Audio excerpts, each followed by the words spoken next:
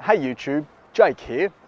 If you've ever been to Japan, you've probably noticed how clean the streets are, yet there really aren't that many bins out and about. Well, we've spent the last few weeks looking into how the country deals with its rubbish, because just 1% of council waste here ends up in landfill. Instead, much of it simply gets burnt. Yep, dumped, crushed, and chucked into an incinerator. This is Toshima Incineration. It's in northern Tokyo and is one of 21 which burn the millions of tons of rubbish generated here in the world's biggest metropolis.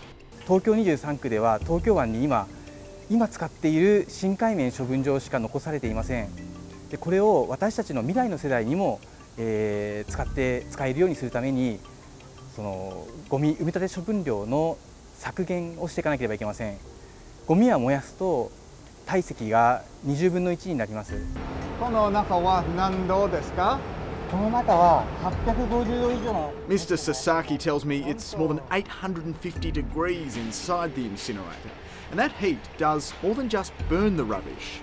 こちらの清掃工場で発生した熱はまず、えー、自分たちのプラントを動かすものに蒸気や電気として使っています The giant stacks from these incinerators really blend into Tokyo's vast skyline, but in Osaka, 500 kilometres to the west, they're an architectural marvel. Before there was a GPS in every smartphone, tourists used to mistake this Maishima plant for the nearby Universal Studios theme park. What you can see is pretty impressive, but what about what you can't, as in the gases being released from the plants? Well, around two decades ago, experts say Japan brought in tough new laws to try to curb the toxic emissions being released from incinerators. えー、ダイオキシン規制法というですね、えー、法律を作りまして、えー、規制値をですね非常に厳しい規制値を設けました と同時に、えー、小さい規模の、えー、焼却施設はですね、えー、どうしても高温での焼却ができなくてダイオキシンが発生しますのでそういう焼却施設は全部廃止させました。The southern Japanese town of Kamikatsu had one of those incinerators that had to be shut down. That left the tiny village with a big problem. Its answer? Trying not to produce any waste at all. Everything gets smashed, stripped, and sorted into 45 different categories. The town doesn't have rubbish collectors, so locals have to bring their waste here and sort it themselves. And that means making sure everything is thoroughly cleaned and decontaminated.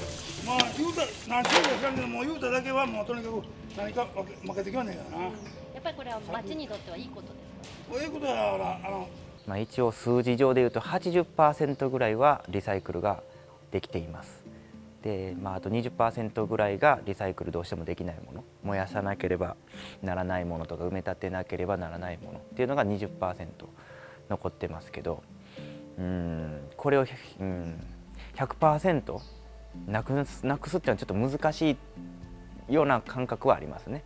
どうしても製品を作った時点でもうもうリサイクルのことを考えて作られてないものとかもあるんで。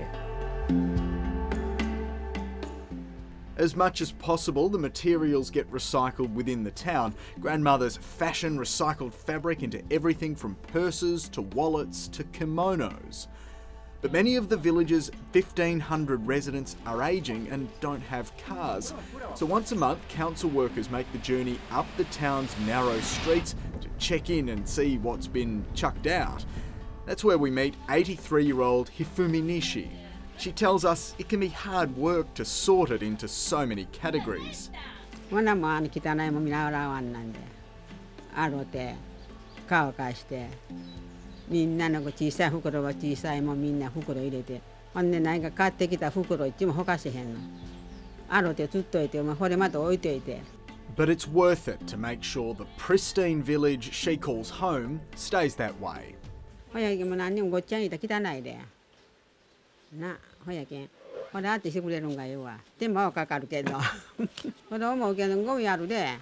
何買ったってほやけん食べる耳の袋一頭だろ Japan uses almost 10 million tonnes of plastic every year, and the country's culture of wrapping and presentation means even a humble pineapple can have three layers of packaging. Some local governments in Japan are forcing residents to pay for the unrecyclable waste they produce.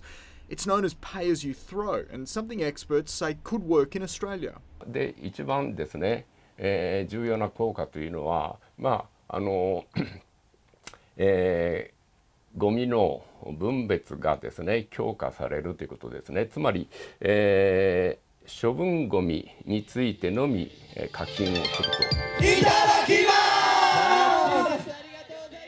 This is the annual Tokyo Nikufest, or Meat Festival. The beef's being sliced, the J-pop is pumping, and the rubbish is piling up. Environmentalists are helping attendees understand why separation is important for recycling. And the more garbage can separate, the more can be recycled. If the garbage is all together, cannot recycle, What do you think? Would having to sort your recycling and rubbish into 45 different categories make you use less? What about having to pay for every bag you can't recycle? Let us know in the comments.